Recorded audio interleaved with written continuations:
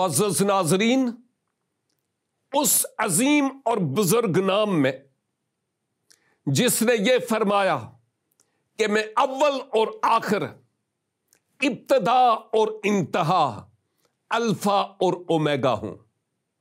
जिसने फरमाया कि मैं मर गया था, ज़िंदा हुआ हूँ और अब्दुल आबाद ज़िंदा रहूँगा। उसके पाक और मुकद्दस और जलाली नाम में आज फिर खुदावन का यह खादम आपकी खिदमत में हाजिर है और आदाब बजा लाता है।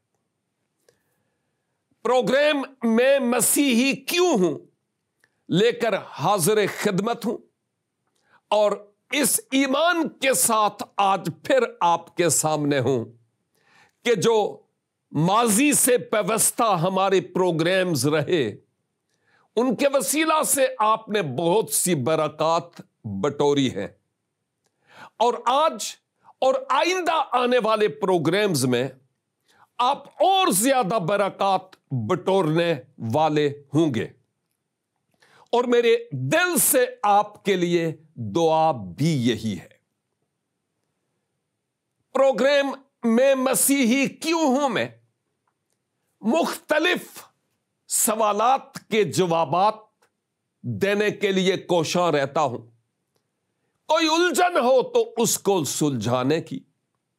कोई कंफ्यूजन हो तो उसको हल करने की कोशिश करते हैं। किताब मुकद्दस को बुनियाद बनाते हुए।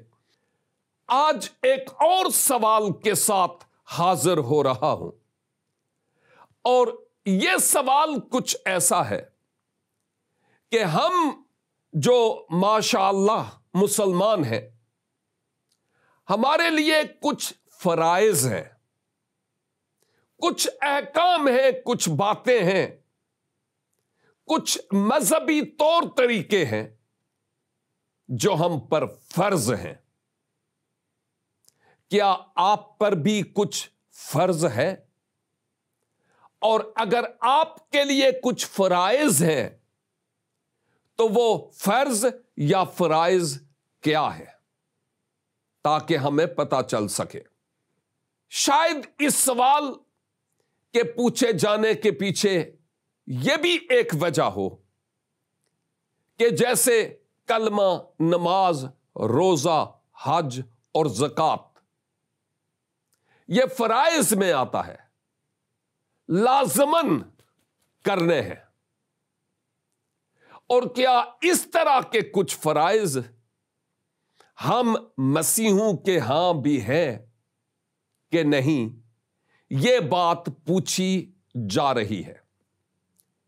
बात यह है कि अगर मैं ये बताऊँ कि ये ये ये ये ये और ये और ये और ये बातें हम पर फ़र्ज़ हैं तो इसमें कोई शक नहीं है। मैं बता सकता हूँ कि ये ये, वो बातें हैं। लेकिन हमारे यहाँ चंद ऐसी बातें हैं जिनका मैं ज़िक्र करना चाहता हूँ आपके सवाल के जवाब में, जिनको हम ज़रूरी करना समझते हैं। वहाँ पर यह नहीं लिखा हुआ कि ये हमारे लिए फराइज हैं। लेकिन यह ज़रूरी है कि हम उनकी फर्मा बरदारी करें। अगरचे, बहुत सारी और बातें हैं जिनकी फर्मा बरदारी भी करना बहुत ज़रूरी है। लेकिन ये चंद ऐसी बातें हैं, जब मैं बात करूँगा ना तो फिर आपको मालूम होगा कि ये कोई एक आध बात है या कई ऐसी बातें हैं जो हम पर फ़र्ज़ है और हमें करनी है। पहली बात तो यह है कि मुकद्दस मती की मार्फत मुलहम इंजील मुकद्दस और उसका बाईस बाब और उसकी छत्तीस आयत से लेकर उनतालीस आयत तक मैं आपकी खिदमत में तलावत करना चाहता हूँ। इन चार आयात में कुछ यूँ लिखा है। और जब फरीसियों ने सुना कि उसने सदुकियों का मुँह बंद कर दिया तो वो जमा हो गए। फरीसी, सदुकी, फकीही और हैरोदी, ये यहूदी लोगों के फिरके थे। और उनमें से एक फरीसी फिरका, दूसरा सदुकी था। और ये दोनों एक दूसरे को इतना ज़्यादा पसंद नहीं करते थे। मसीह खुदावन से सदुकियों ने आकर सवाल पूछा और मसीह ने जवाब दिया और फरीसी अब यह जबान इस्तेमाल करते हैं कि यीशु ने उनका मुँह बंद कर दिया। शायद हम जो उर्दू स्पीकिंग लोग हैं, ये किसी का मुँह बंद कर देना। ओ जी, मैंने ओदा मुँह बंद कर छड़िया है। ये जरा बेइज्जती की बात है ना? लेकिन असल में वो फरीसियों के ये अल्फाज हैं कि सदूकियों के मुँह बंद कर दिए। इसका मतलब यह हुआ कि मसीह ने जब जवाब दिया तो वो खामोश हो गए। अब उनके पास कोई आगे जवाब नहीं था। अब आपको पता चल गया, फरीसी कौन थे और सदुकी कौन थे। फिर से सुनिएगा। और जब फरीसियों ने सुना कि उसने सदुकियों का मुँह बंद कर दिया तो वो जमा हो गए। और उनमें से एक आलम शरा, यानी शरीयत का आलम। शरीयत क्या है, इस पर हम अगले प्रोग्राम में बात करेंगे। तो एक शरा के आलम ने आजमाने के लिए उससे पूछा, यानी खुदावंद यीशु मसीह से, क्या? कि ए उस्ताद तो रैत में कौन सा हुक्म बड़ा है। अभी चूँकि इंजील मुकद्दस तहरीरी सूरत में नहीं आई थी, ऐद अतीक ही था और मसीह यसु तोरात की किताब से खूब वाकिफ थे और पूछा गया कि तोरात में कौन सा हुक्म बड़ा है। अब यीशु मसीह ने जवाब क्या दिया? आयत सैतीस। उसने उससे कहा कि खुदावंद अपने खुदा से अपने सारे दिल और अपनी सारी जान और अपनी सारी अकल से मोहब्बत रख। खुदावन अपने खुदा से अपने पूरे दिल के साथ, पूरी जान के साथ और पूरी अकल के साथ मोहब्बत रख। लिखा है, आगे सुनिएगा, बड़ा और पहला हुक्म यही है। बड़ा और पहला हुक्म यही है कि खुदावन अपने खुदा से मोहब्बत रख और पूरी रूह जान बदन से मोहब्बत रख। बड़ा और पहला हुक्म यही है। इसका मतलब यह है कि यह वो फ़र्ज़ है तुम पर कि तुम खुदावन अपने खुदा से मोहब्बत रखो रू जान बदन से। अगली बात, आयत अड़तीस। यह बड़ा और पहला हुक्म है उनतालीस। और दूसरा, यानी दूसरा हुक्म यह है, वो भी इसी तरह का ही है, और दूसरा हुक्म इसकी मानी दिए है कि अपने पड़ोसी से अपने बराबर मोहब्बत रख। इन्हीं दो हुक्मों पर तमाम तोरेत और अंबिया के सहीफों का मदार है।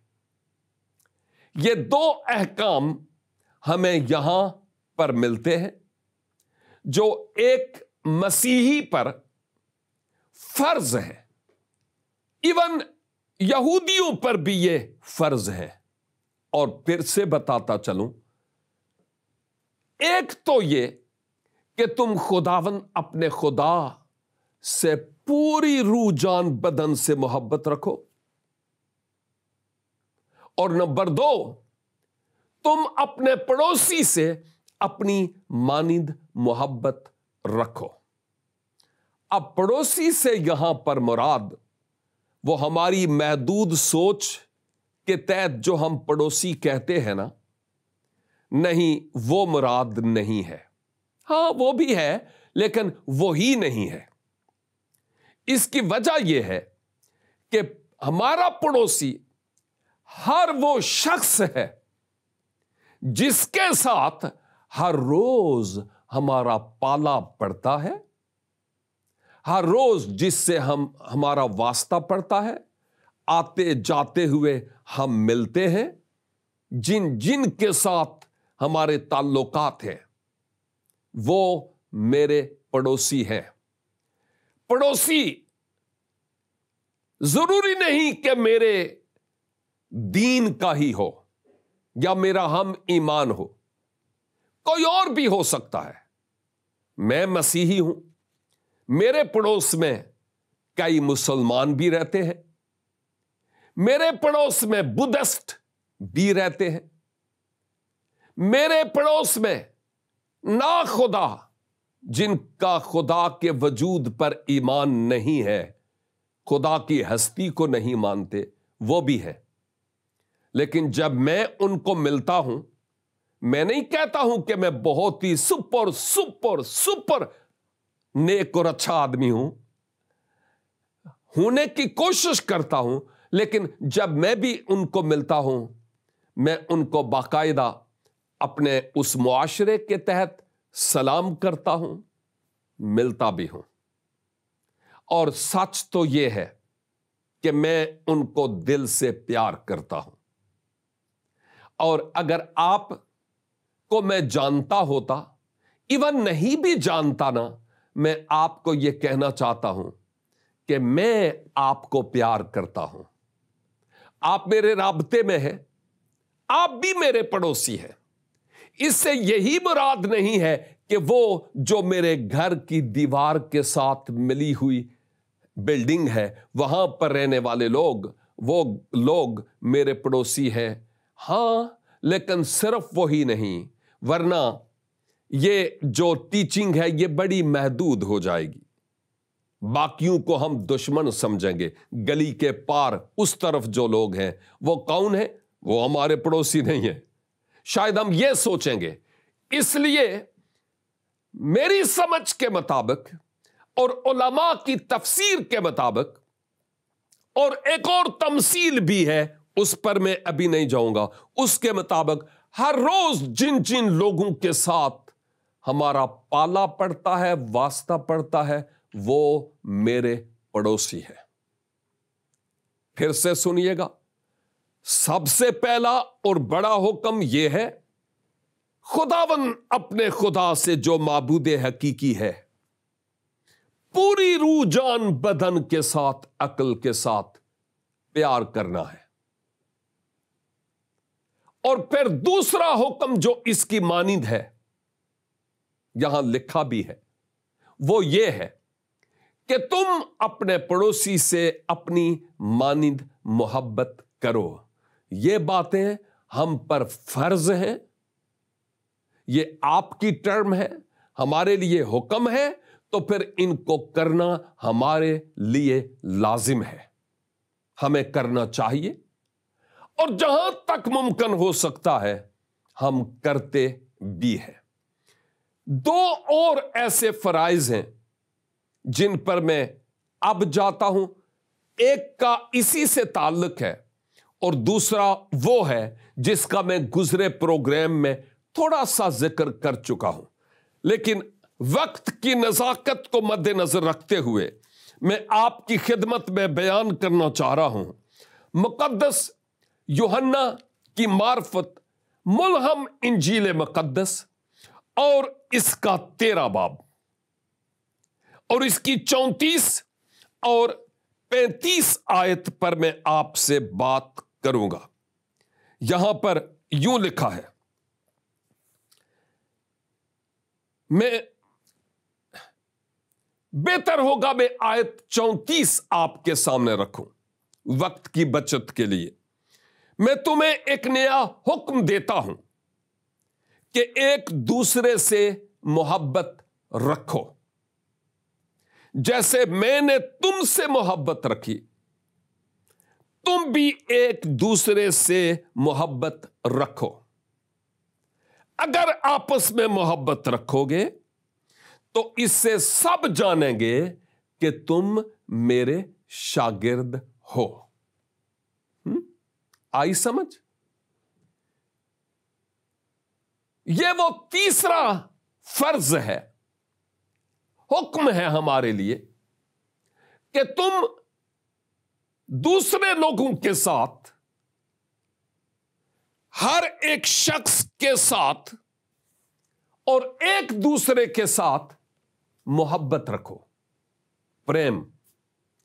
और जब तुम दूसरों से मोहब्बत रखोगे ना तो इससे पहचाने जाओगे कि तुम मेरे हो। तुम मेरे शागिर्द हो।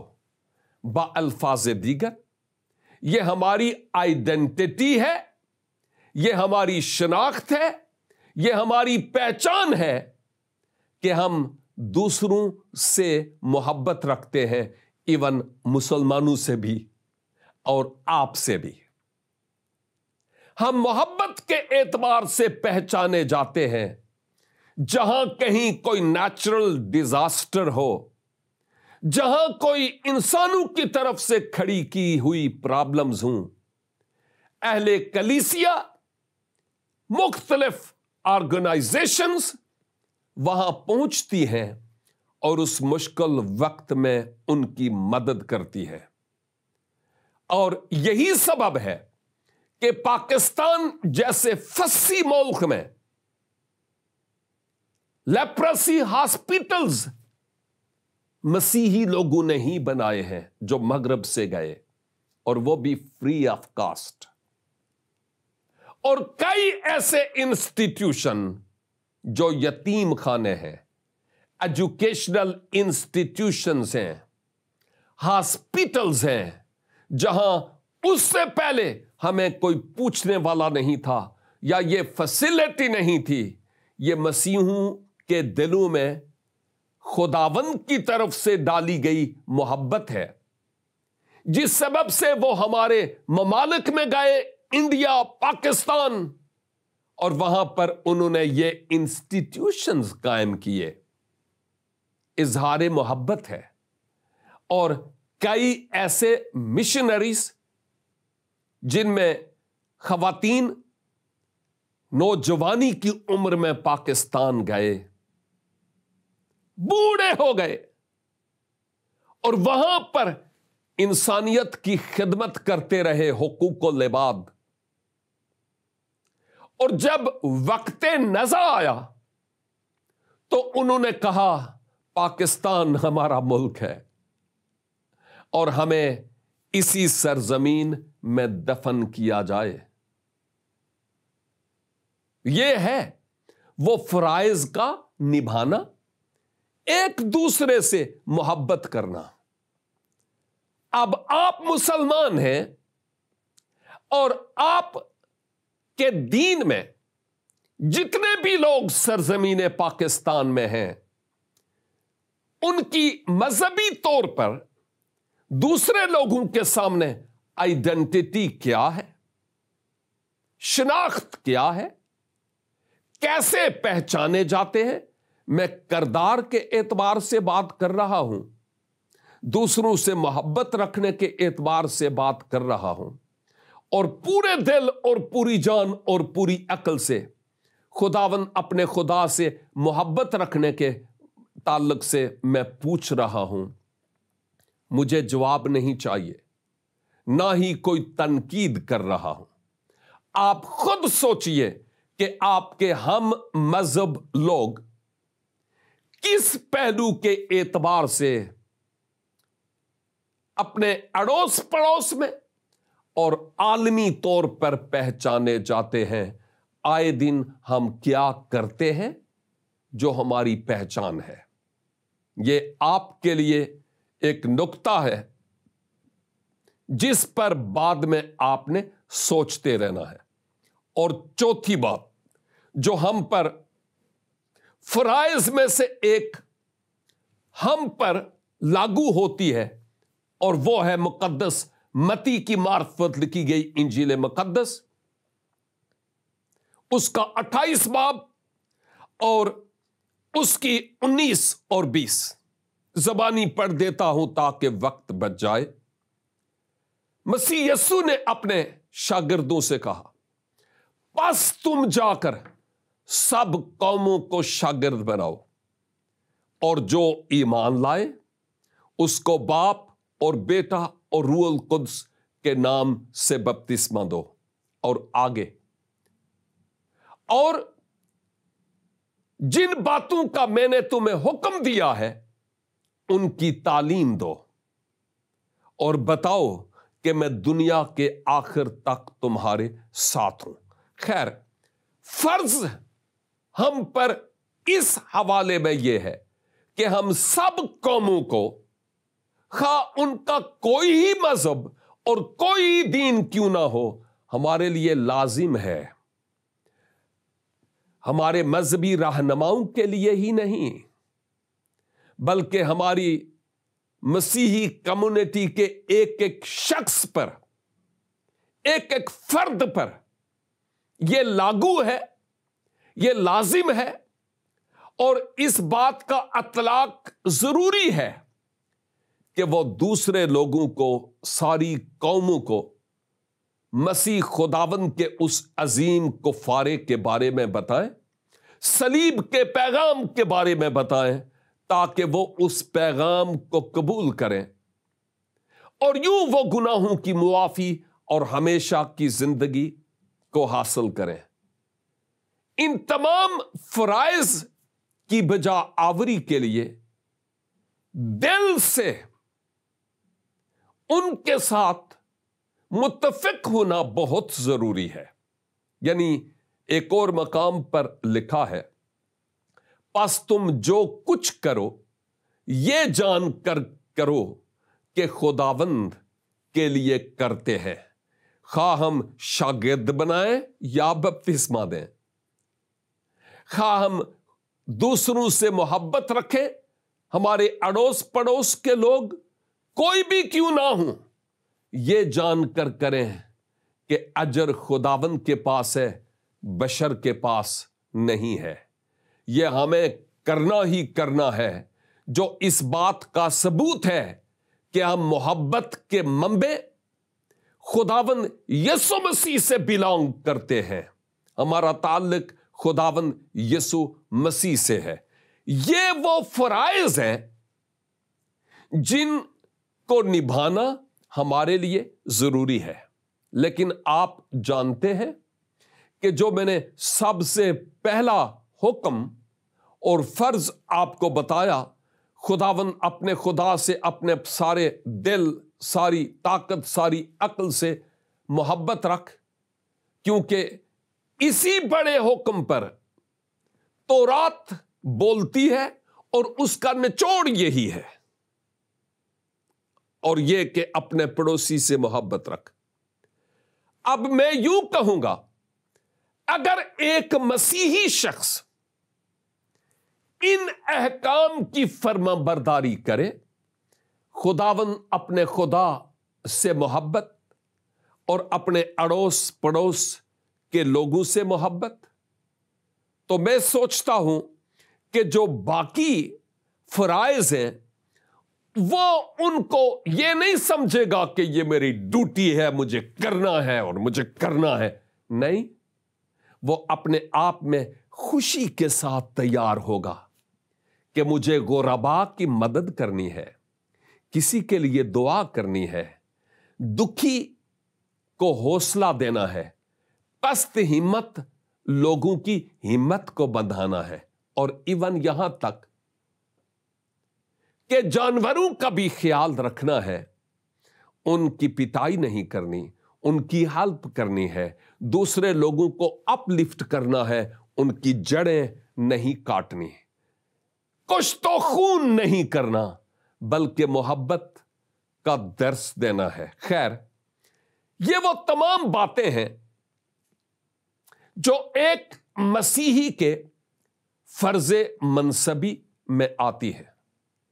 जब मैं अगला प्रोग्राम करूँगा, यानी नेक्स्ट वीक, मेरा ईमान है कि आप हमारे साथ होंगे और मैं थोड़ा इन अहकाम के बारे में सिर्फ़ इन्हीं को नहीं, बल्कि एक सवाल के जवाब में मैं कुछ और भी आपकी खिदमत में अर्ज़ करूँगा।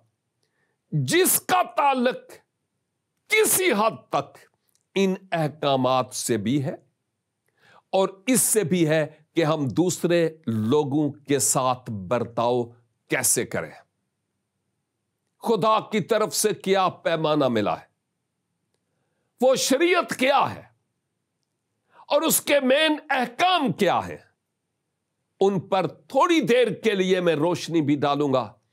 ये केवल इस वक्त इसलिए बता रहा हूँ कि आप अपने और साथियों को भी मदऊ करें या उनको भी इस चैनल का हवाला दें ताकि वो हमारे साथ मिलकर इस प्रोग्राम को देख पाए। और यह भी मुमकिन है कि उनका भी कोई सवाल हो और वो भी कोई सवाल हमसे कर सके। आप इस फ़र्ज़ को अपना फ़र्ज़ समझते हुए निभाते चले जाएँ और दूसरे लोगों तक इस टेलीविज़न चैनल और इस प्रोग्राम का इश्तहार देते चले जाएँ, ताकि जैसे आपका भला हो रहा है, वैसे ही दूसरों का भी भला हो। हमारी दुआएँ आपके साथ हैं और रहेंगी भी। मसीह खुदावन की कुर्बत और नजदीकी में रहते हुए इन फराइज और इन हकायक और इन तालीमात की अक्सी अपनी ज़िंदगी में करते रहें यह मेरी दुआ है।